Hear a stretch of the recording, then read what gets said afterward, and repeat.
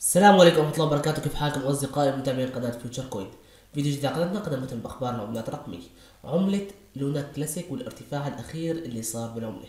عم نشوف هالعملة عليها volume قوي وارتفاعات رائعة ومرابح رائعة بتصير لكن الارتفاع لسه ما انتهى وهذا ارتفاع بسيط لسه راح نواجه المقاومات التالية مقاومة العشرين صفر point ثلاثة أصفار عشرين.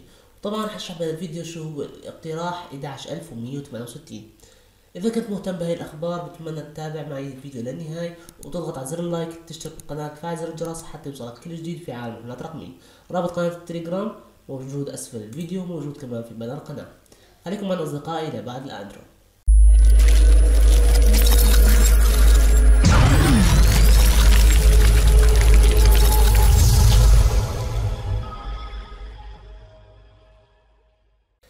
اصدقائي عملة Terra Luna Classic احترمت الترند بشكل كبير جدا. وعم نشوف ارتداد واضح من الترند وأهم شيء إنه كسرنا ال moving average 200 على frame الأربع ساعات. واقتربنا من تقاطع رائع جدا اللي هو تقاطع ال moving average 200 مع moving average 50 وال moving average 200 يعني ال moving average 50 يعني تقاطع إيجابي 100% بمجرد ما يتم التقاطع بعد شمعتين أو ثلاثة راح نبلش نشوف موجود صعود بعملة Terra Luna Classic. راح نستهدف المقاومة اللي هي مقاومة صفر point ثلاث اصفار عشرين هاي مقاومة عنيدة وباقي المقاومات راح يسهل كسرها بسبب ال volume الكبير اللي عم بصير بالعملة.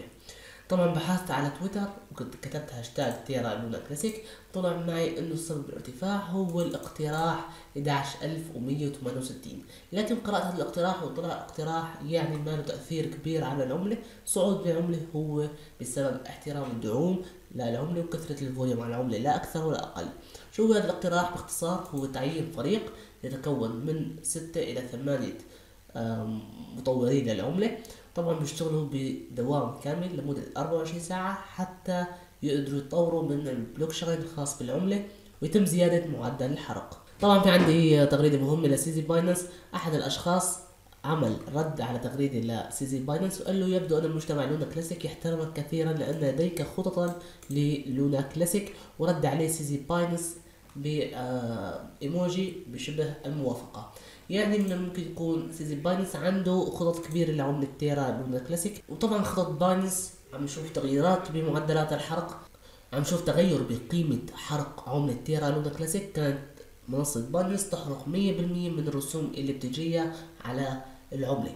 يعني إذا صار تداولات على عملة Terra Luna Classic ومنصة Binance أخذت مليون دولار من التداولات بتروح المليون دولار كاملة إلى الحرق. لكن بعد تغير خطة الحرق صار يتم حرق خمسين بالمية من رسوم التداول فقط. يعني صار عندي انخفاض بمعدل رسوم حرق عملة Terra Luna Classic. وطبعا مثل ما نشوف العملة لسه مكملة بالصعود وصعود العملة هو احتراما للترند والارتداد الواضح اللي راح يصير الآن من moving average 200 بعد تلامسه مع ال moving average 50 اصدقائي وصلنا لهذا الفيديو اتمنى الفيديو يكون نال إعجابك. لا تنسى تضغط على زر ال like تشترك بالقناة تفعل زر الجرس حتى يوصلك كل جديد في عالم المعلومات مع السلامة ودمتم بخير.